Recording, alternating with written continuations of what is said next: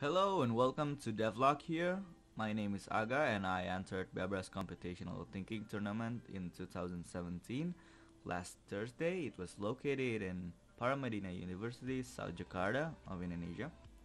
Uh, it was about thinking logically to understand computers better. It was like a programming competition but there's no actual programming where we have to solve some basic logical tasks like uh, logical expressions and data structure and manipulating variables uh, so we have to do it by hand. We don't have to like uh, do it on computers and stuff. So I think it's a really good thing for students to uh, become more logical and maybe interested in computer science and thinking how machines work. Like we have to think uh, computationally like the tournament said uh, it's a really good tournament.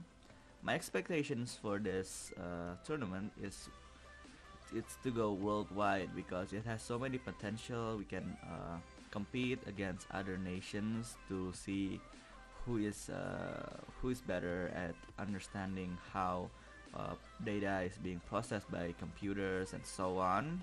Uh, it was held for elementary students, uh, junior high school students, and high school students, and I entered the high school students criteria. Uh, so that's a really good uh, thing to go worldwide.